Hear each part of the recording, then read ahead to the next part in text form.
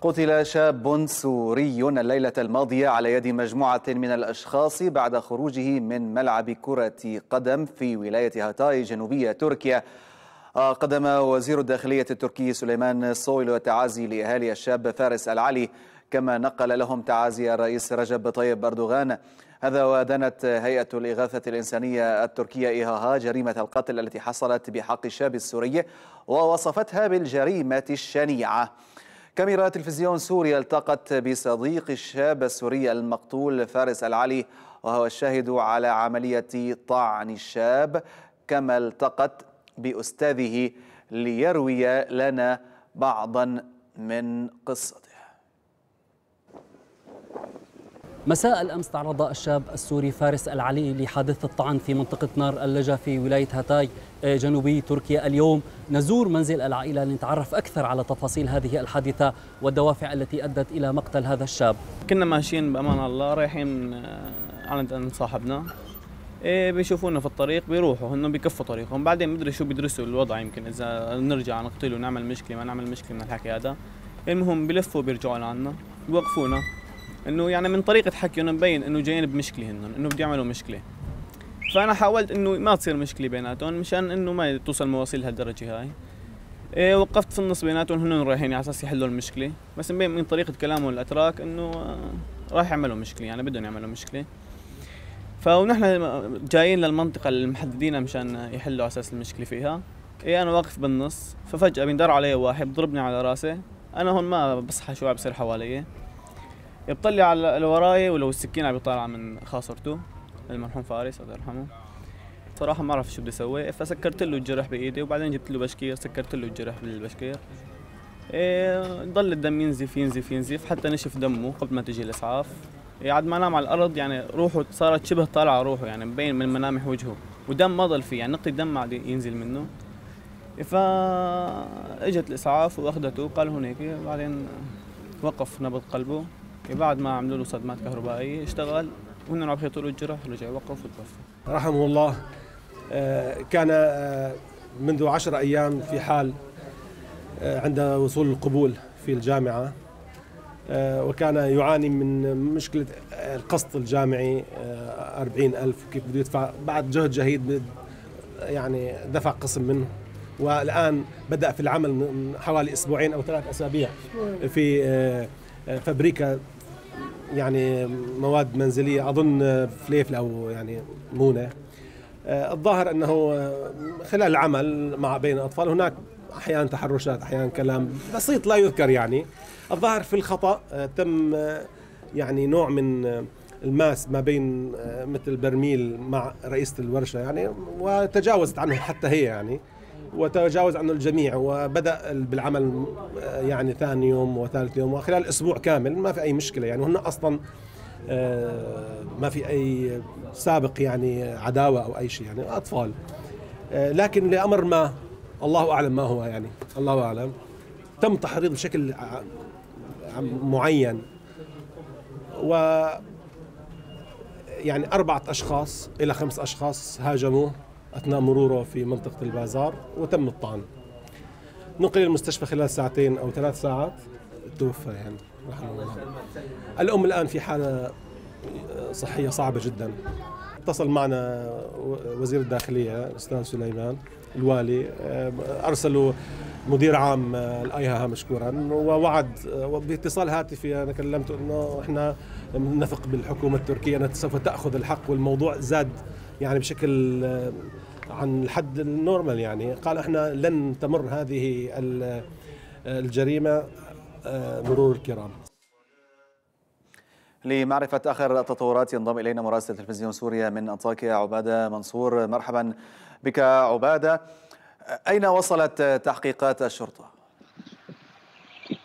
نعم وسيم يعني قبل قليل وبحسب أفراد أقرباء الشاب السوري فارس آه، العلي فإنهم استلموا يعني آه، التقرير الطبي الصادر عن الطبيب الشرعي. هنا في آه، مشفى الجامعة في مدينة أنطاكيا. طبعا الطبيب الشرعي قال بهذا التقرير وبحسب أقرباء الشاب السوري بأنه تعرض لطعنه في منطقة يعني البطن. هذه الطعنه على أثرها توفى الشاب بشكل مباشر.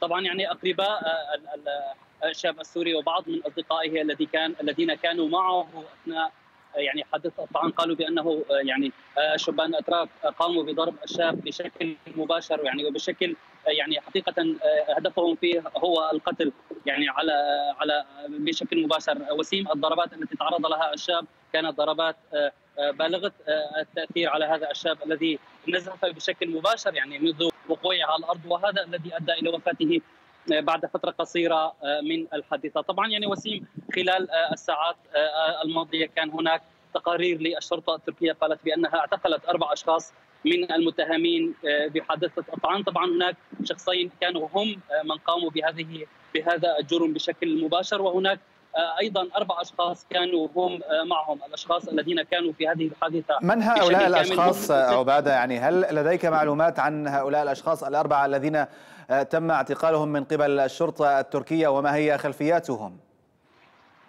نعم وسيم يعني قبل أسبوعين الشاب السوري فارس بدأ العمل في معمل لصناعة الغذائيات. هذا المعمل هو بالقرب من المنطقة الذي التي يقيم بها منطقة نابلجا والمنطقة هي ريف تابع لمدينة أنطاكيا، طبعا هؤلاء الأشخاص هم شبان يعملون في هذا المعمل، خلال عمل الشاب كان هناك يعني حدث صدم عن طريق الخطأ لسيده تركيه تعمل في هذا المعمل، طبعا الشبان في اليوم التالي مساء قاموا بملاحقة هذا الشاب وإيقافه واعتراض طريقه هو ومجموعة من اصدقائه أثناء خروجهم من مباراة لكره القدم طبعا الشبان سألوا قبل سألوا هذا الشاب عن اسمه بشكل مباشر وعرفوا أنه هو الشاب الذي يعمل معهم.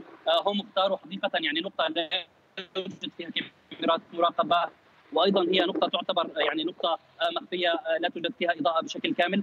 الشبان كما ذكرت وسيم هم يعرفون فارس من عمله من عمله معهم في هذا المعمل. هو الشاب بدأ بهذا بهذا العمل قبل فترة أسبوعين يعني لتأمين قسط قبوله الجامعي. هو شاب عمره 17 عام. قبل فترة قصيرة حصل على مقعد الطب في جامعة بورصة لكن يعني المبلغ حوالي 40 ألف تركية وهو من أسرة حقيقة يعني لا يوجد لديهم هذه التكاليف. فالشاب بدأ بعمل يعني لتأمين قسم من من هذه الاحتياجات. كما ذكرت وسيم الأشخاص الستة الذين تعرضوا لطريق هذا الشاب وقاموا بالاعتداء عليهم أشخاص يعملون في نفس المعمل وحتى أن اثنين من هؤلاء الشبان هم أولاد هذه السيدة التركية التي كانت يعني قالت قبل يوم أنها سامحت هذا الشاب وهي لن يعني لا تريد شيء من هؤلاء. الشبان عادوا مساء اليوم التالي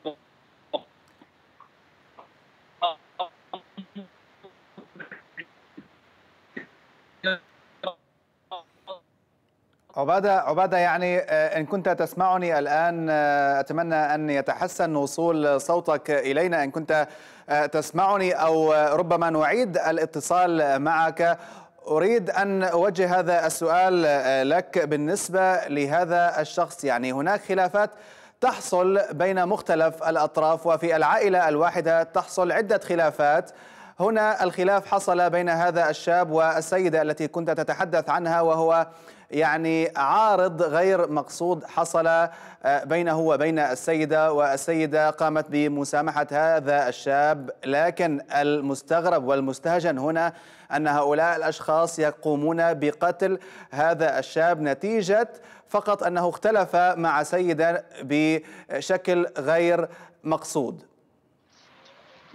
نعم وسيم حقيقة يعني الحديث العام الذي جرى اليوم أن الأحداث أو التصريحات العنصرية التي كانت بحق السوريين خلال الفترة الأخيرة هي السبب الأول لتحريض هؤلاء الشبان على قتل الشبان السوريين بهذا الشكل. اليوم وسيم يعني عدة حوادث حقيقة حدثت في تركيا هي سببها التحريض العنصري الكبير في ولايه هاتاي خلال الاعوام الماضية. لم لم نكن نشاهد هذه الأحداث العنصريه أو حتى أي أحداث عنصرية. اليوم حقيقة وبعد هذا الحادث الوضع اختلف. اليوم السوريين الذين زاروا عائلة الشاب فارس العلي قالوا بأن التصريحات العنصرية التي كانت تخرج عن مسؤولين موجودين في في ولاية هاتاي أو غير يعني أو غير ولايات تركية. هذه الأحداث وهذه التصريحات شحنت هؤلاء الشبان الأتراك بشكل كبير. اليوم يعني عند اعتداء الشاب التركي بهذه الطريقة الوحشية على هذا الشاب السوري. هو دليل على أن هذا الشاب كأنه عدو. يعني نعم. اليوم أصبح هناك يعني خوف كبير من هؤلاء من الشبان السوريين. وأيضا أيضا عبادة أريد أن أسأل عن عن يعني نقطة مهمة تم ذكرها بأن هذا الشاب رحمه الله تلقى تعليمه في مدرسة للأيتام آه، في تركيا آه، أنطاكيا تحديدا هذه المدرسة للأيتام. ومن ثم هذا الشاب تفوق وحصل على آه، يعني دخول إلى كلية الطب كما جاء في التقرير وذكر أستاذه في المدرسة سابقا. يعني هو ليس من الشباب أصحاب المشاكل إنما هو شاب مجتهد بدراسته متفوق ومن ثم يلقى عدة طعنات نتيجة خلافه بشكل غير آه، مقصود. الناس الأتراك الذين زاروا أو قدموا العزاء آه، لأهله. آه، ماذا قالوا عن أخلاق هذا الشاب طبيعة عمل هذا الشاب وتفوقه ودخوله لكلية الطب؟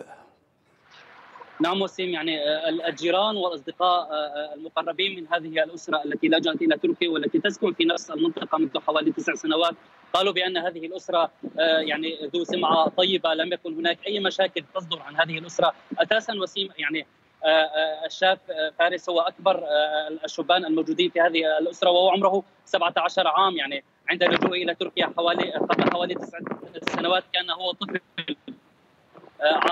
والد هذا الشاب المتوفي في سوريا والأسرة لجأت بعد آه، يعني قبل سنوات إلى هنا. آه، شاب درس في مدارس آه، في في مدرسة خاصة أقامتها لها بالتعاون مع منظمة رأف في مدينة الريحانيه هذه المدرسة تضم حوالي 250 طفل سوري هم من أبناء الشهداء. قامت يعني المنظمة بكفالة هؤلاء الطلاب وإقامتهم بشكل كامل في هذه في هذه المدينة التي بنتها بالقرب من الحدود السورية التركية. طبعا الشاب كان يزور عائلته عائلته بشكل أسبوعي فقط.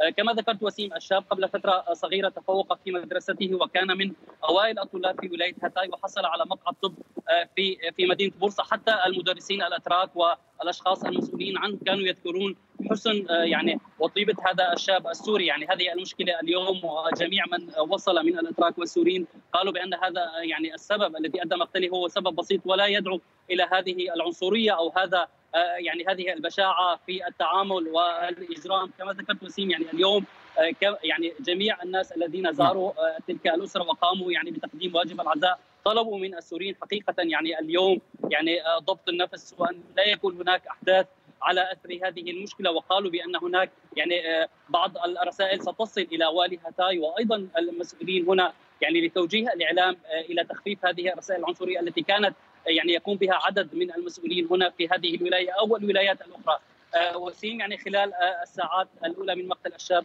آه، وزير الداخلية التركي يعني اتصل اتصال مباشر ونقل رسالة موجهه من رئيس التركي رجب طيب أردوغان إلى أسرة إلى إلى هذه العائلة يعني نعم. تقدم لهم بواجب العزاء وأيضا يعني كان هناك وفود الأمين عام لمنظمة اليهاها وعدد من المنظمات التركية وأيضا يعني كان هناك حقيقة في هذه الحادثة الأخيرة هناك تسليط ضوء كبير من وسائل الإعلام التركية اليوم شاهدنا عدد كبير من وسائل الإعلام التركية التي وصلت إلى آه، نعم. بيت العائلة ويعني وأخذت مقابلات حصرية مع مع مع تلك مع مع أفراد الأسرة لنشر آه، هذه الحادثة والجريمه البشعه. نعم رحم الله الشاب فارس العلي ونتمنى لأهله الصبر والسلوان شكرا جزيلا لك عبده منصور مراسلنا من أنطاكيا. إلى هنا تنتهي حلقة لم الشمل كل التقدير على حسن المتابعة دمتم بألف خير.